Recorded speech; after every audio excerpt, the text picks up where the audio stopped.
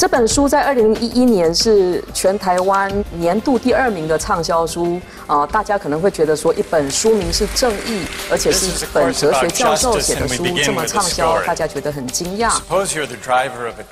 书里面关于正义思考的很多案例啊，它并没有标准答案，它是一个引导学生思考的过程。我们的学校都是最重视标准答案，而且最不重视思辨的教育。所以看到原来哈佛大学的哲学教授上课可以这样子，大家都很惊讶。